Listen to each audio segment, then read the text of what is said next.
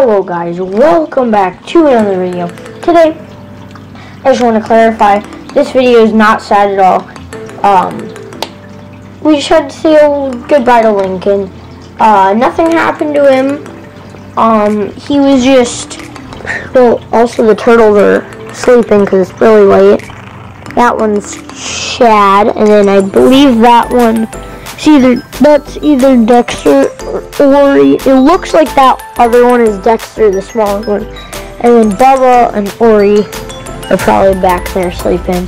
But we just have to say goodbye to Lincoln because he wasn't getting up on this rock easily enough, get, not getting enough UV. So I decided to give him to my good friend Cole, Cole Turkeybro. Oh, there's Bubba.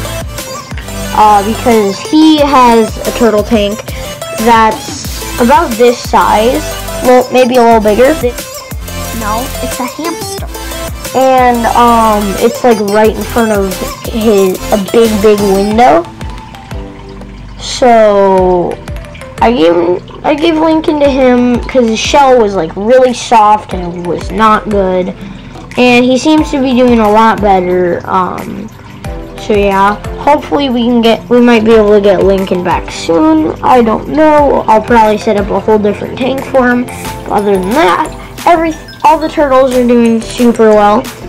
Bubba's been nomming on crickets and small fish of sorts. Um, all the frogs are doing absolutely amazing.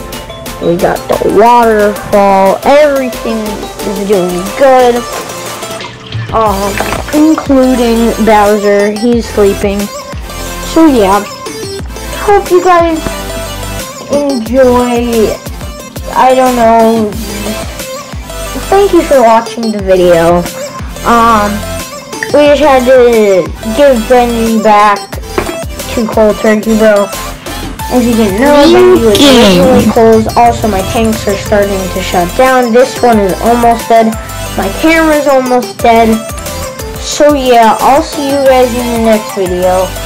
Brush your teeth so you don't have to get oral surgery and get hurt a lot. And as always, brush your teeth.